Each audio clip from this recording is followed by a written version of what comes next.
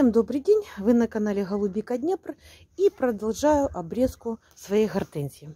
Так как сортов у кустов у меня много, поэтому вариантов опять же у меня много, но почему я снимаю, скажем так, несколько видео? Для того, чтобы посмотрев, потому что за один раз очень сложно как бы научиться делать обрезку. Жалко, очень жалко. Поэтому я делаю несколько видео для того, чтобы пока вы смотрели, привыкали к тому, что нужно расставаться с ветками и учились вместе со мной. Как я всегда уже говорила, от всех мелких веточек я избавляюсь в течение сезона. Поэтому мелких веток у меня нет. Но остаются при обрезке у меня пеньки. Вот эти пеньки я обязательно убираю. Сейчас я взяла для рассмотрения два варианта штамбиков. Это у меня фрайс Мельба и вторая у меня ванила фрайс.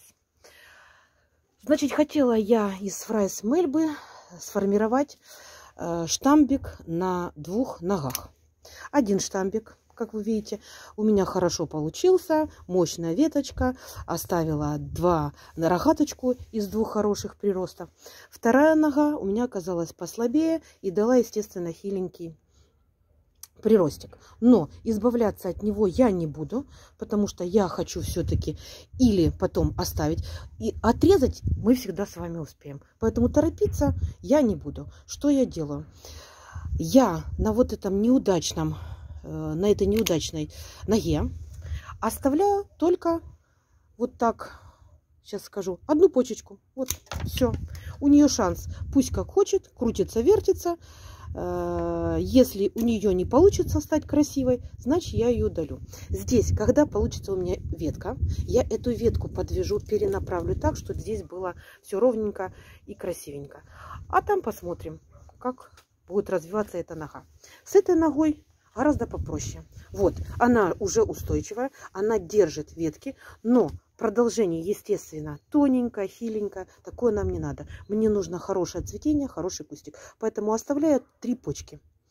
Можно бы было оставить две почки, но нужно учитывать, что а вдруг не проснуться.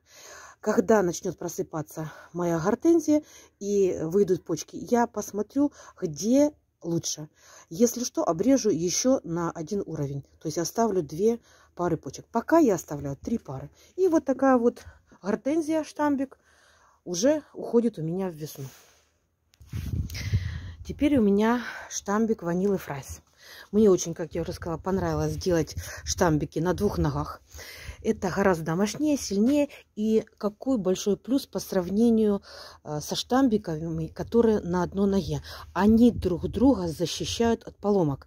Когда сильные ветра и вот это все колыхается, они друг друга удерживают от поломок. Поэтому я предпочитаю все-таки делать штамбики на двух ногах. Ну и плюс это гораздо красивее соцветия. Что хочу сказать про ванилу фрайс. Это моя любимица.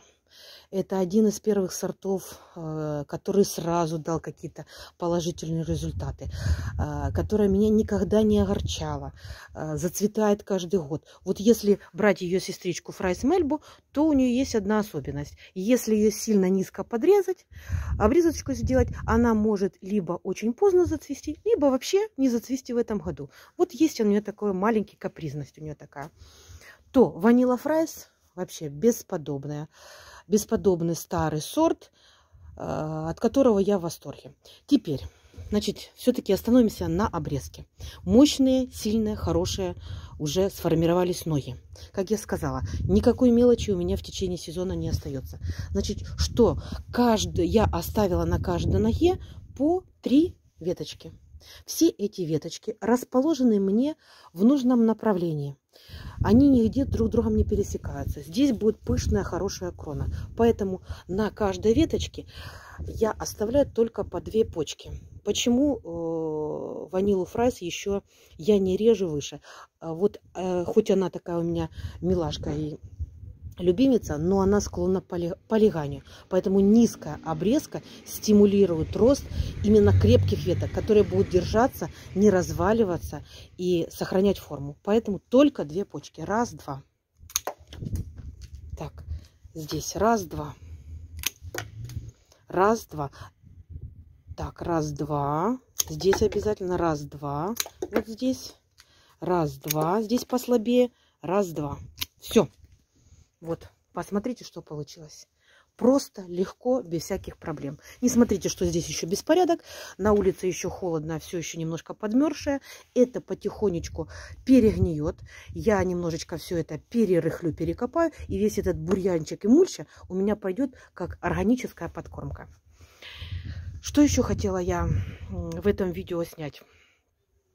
Я делала обрезку своих больших кустов и вспомнила о том, как я делала ленивое черенкование Э, своей гортензии. И хотела бы вам показать, каким образом можно еще размножить, напомнить про этот ленивый способ. Вот у меня те веточки, которые я обрезала со своей ванилы фрайс. Что я буду делать? Без всякого укоренителя, никуда ничего не макаю. Я щесываю кору на нескольких веточек. Две веточки я себе оставлю для почкования, заберу домой, потому что я делаю сразу несколько видов черенкования.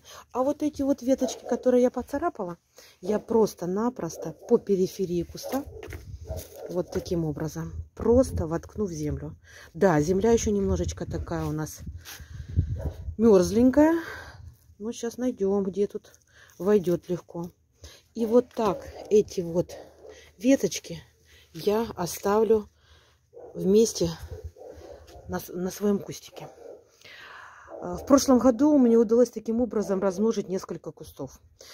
А, по краям оставляю. Почему с самого края? Потому что очень легко. Корневая заплетет весь этот большой горшок. Я могу эту гортензию в следующем сезоне пересадить уже в больший объем. А когда я достану из горшка уже э, появившиеся корешки, я смогу просто отломать вот эту вот гортензию, этот э, молодой кустик и пересадить. У меня будет еще новый кустик ванилы фрайс. Поэтому попробуйте. Э, очень все просто.